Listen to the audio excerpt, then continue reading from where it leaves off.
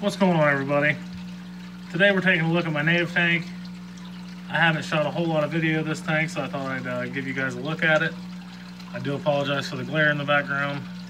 I have quite a few tanks, and you know, when one's across the room and the lights are on, you know, you get the glare. I could shut them off, that would just take too much time. I have them on timers and all that good stuff. But in this tank, I have a few crayfish. I have a northern long ear there's also a rock bass in here about the same size as that guy right there. Um, he stays hidden. He's not friendly. He don't want to be seen. He just wants to hide. I do have these guys eating shrimp pellets. That's about the only thing I can get them to eat. I've tried getting them, you know, floating cichlid pellets. I've tried flakes. They won't eat anything except for shrimp pellets. So that's what they're that's what they're eating for now.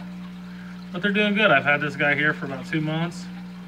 I did catch him out of a creek behind my house. Well, it's about quarter mile behind my house. Uh, this is where all these guys came from. This is where the wood came from. So everything in here is from their home. Uh, I'm not a huge fan of the airstone. Uh, my thinking was these guys come from a creek that's, you know, probably very well oxygenated.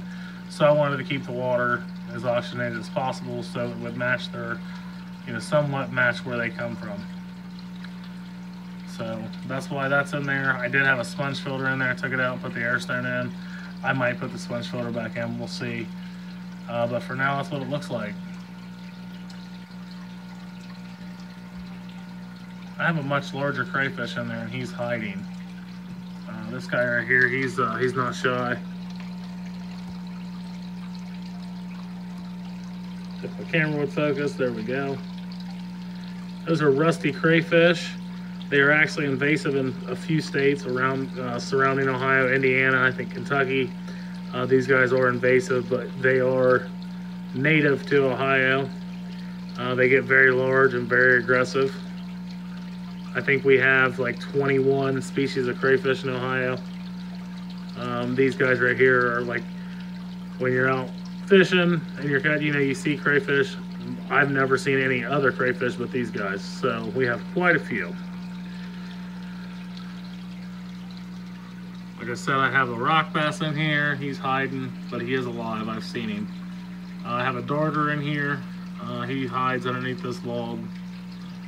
I'm not sure what kind of darter. Hopefully it's a rainbow darter, but we'll see. He's he's kind of he's kind of tiny. But the other fish seem to leave him alone. So I've seen him out and about. Uh, you know, it's just random. I'll see him. Better look at my long ear. I've kept these guys in the past. I actually had three last year. You can go back and look at uh, some of my older videos. I'll attach it in here. Um, they're awesome fish. They don't get real big. They are sunfish. Uh, they're pretty aggressive but they're just beautiful. The color, the, you know, the colors on their face is amazing. So I'm hoping to get maybe another one, maybe release the rock bass, put this, you know, put another one in here so I have two. They, like I said, they don't get very large. I think six, maybe six inches is the largest they get.